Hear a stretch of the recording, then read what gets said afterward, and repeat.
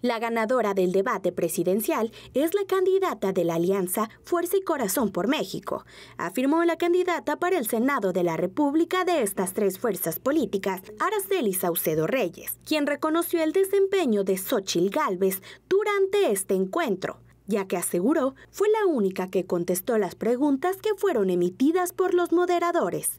Quien ganó el debate es Xochitl Galvez, una mujer que se presentó el día de ayer dando la propuesta, propuestas claras, propuestas contundentes, pero sobre todo contestando la inquietud que se eh, tradujo a través de las diversas preguntas que el INE eh, reclutó y que bueno, se le fueron preguntando, bueno, fue la única que pudo contestar muy bien cada pregunta que le fue formulada tenemos ganadora ¿no? del debate, tenemos presidenta de este país y estamos trabajando todos desde Michoacán para que el próximo 2 de junio pueda refrendarse este voto de confianza que Michoacán está hoy generando y sobre todo con esta gran eh, eh, ánimo que estamos nosotros recibiendo de la ciudadanía que no tiene partidos políticos, que hoy ve en Xochitl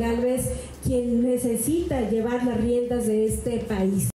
Además, adelantó que ya se encuentra lista para esta actividad que se replicará en la capital Michoacán el próximo 10 de abril entre los candidatos al Senado de la República. Y nos estamos más bien nosotros preparando para nuestro próximo debate aquí. Yo quiero aprovechar los medios de comunicación que hoy están presentes, que nos acompañen el próximo 10 eh, de abril, próximo miércoles, en punto de las 8 de la noche. Es importante que conozcan la propuesta que llevará Araceli Saucedo rumbo al Senado de la República.